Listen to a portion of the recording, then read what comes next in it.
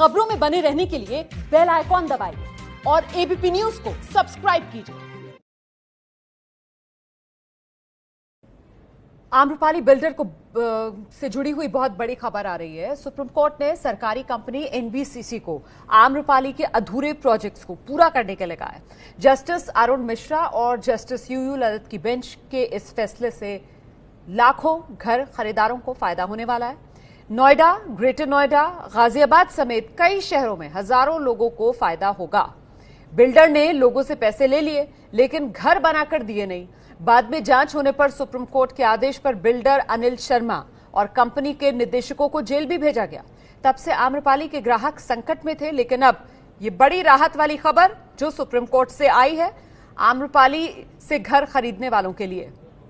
Supreme court ने आम्रपाली का RERA registration भी रद्द कर दिया है।